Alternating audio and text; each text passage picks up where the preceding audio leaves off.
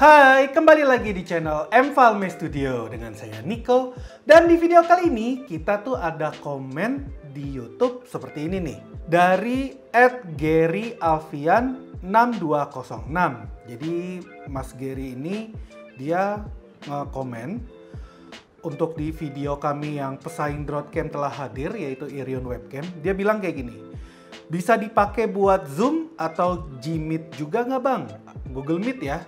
Nah, yuk mari kita coba cek ya.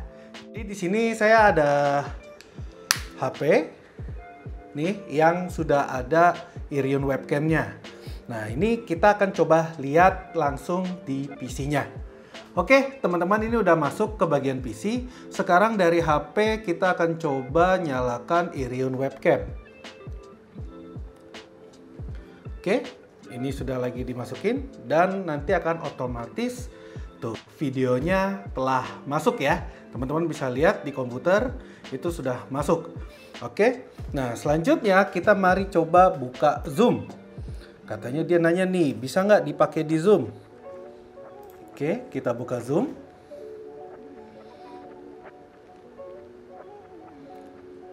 Oke, ini kita sign in dulu ya. Sekarang kita sudah masuk ke tampilan Zoom-nya. Kita langsung saja new meeting. Tuh, ini masih pakai webcam yang ada di laptop ya. Nah, sekarang mari kita pindahkan videonya ini di sini. Pilih yang Irion webcam.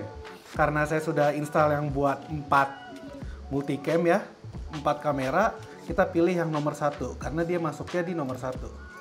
Tuh, sekarang dia udah masuk ke HP. Bisa kelihatan ya? Nah ini mungkin resolusinya bisa kita atur di sini. Kita pilih yang HD, original ratio, dan ini udah mirror, oke. Okay. Sip. Tuh. Jadi bisa ya dipakai di Zoom. Nah, sekarang mari kita coba masuk ke Google Meet. Oke, kita matikan untuk yang Zoom-nya.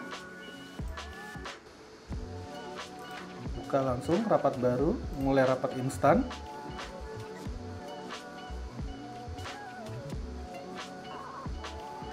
Nah, ini masih pakai webcam. Sekarang kita ubah videonya di sini. Pilih setelan. Nah, untuk video. Nah, ini yang USB 2 pindah ke Irion webcam. Nah,